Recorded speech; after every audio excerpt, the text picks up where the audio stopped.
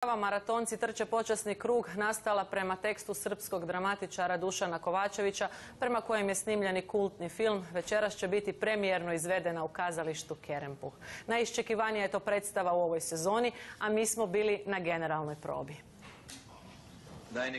Breme kultnog filma na sebe je preuzela beogradska redateljica Iva Milošević, jedna od rijetkih koja se u posljednjih 40 godina prihvatila kazališnih maratonaca, manje spektakularnih i mnogo ozbiljnijih od poznate nam bande Lopovske.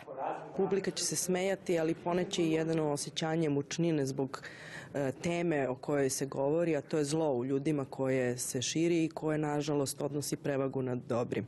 U paleti poznatih likova obitelji Topalović pokazao se glumački potencijal Kerempuhova ansambla. Vili Matula u ulozi najstarijeg 127-godišnjeg Maksimilijana oduševljava gestom i mimikom, a Luki Petrušiću kao najmlađem Topaloviću ovo je najzahtjevnija uloga do sad.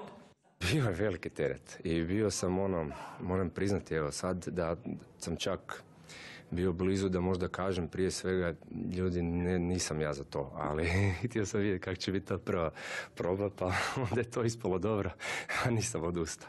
Kerempuhovi maratonci bit će zapamćeni po uvjerljivoj glumačkoj preobrazbi Elizabete Kukić ulozi Dede Aksentija. Ja ovako sam dosta sklona eksperimentirati u tom pogledu, na, mislim to je zapravo i moj posao i tako, tako da mi je bilo izuzetno u, u, u par pravaca zanimljivo raditi i voditi to lice. Meni je osobno draži ovaj pristup, jer taj tekst je po meni ovo što smo mi napravili, a film kultni kojem ja skidam kapu, ali ja više volim ovaj humor koji nije onako na pladnju.